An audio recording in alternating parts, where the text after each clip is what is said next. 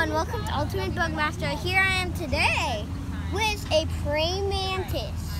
Right now it's acting to be um, a piece of grass. That way, maybe I don't think it's a bug and try to eat it.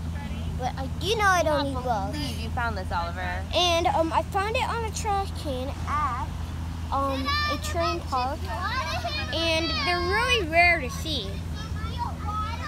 So, um, I'm gonna do. I'm. Gonna, I have a. capture. I have a hybrid in there too that maybe I'll show later. Okay, say goodbye. Say bye, little praying mantis. Bye.